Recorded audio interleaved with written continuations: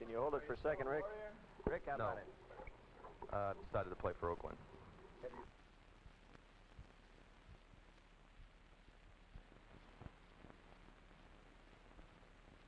The proposal that Oakland has offered to me is something that uh, I feel is best for my wife and my family as far as our security is concerned, and, and this is the reason why I've decided to go over.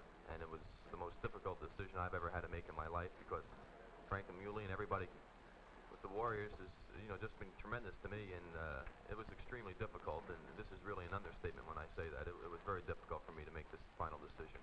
Rick, why do you think the American Basketball League is going to last or stay in existence?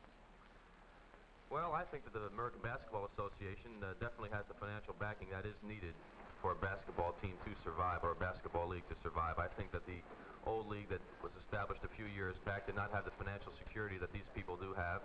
And of course, uh, you have to go into this thing realistically, realizing that of course you're not going to go in and become a big money maker, and this is the way that these people feel. And I think with this type of an attitude, uh, they can't help but be a success, uh, especially if they can get some of the younger ball players uh, just coming.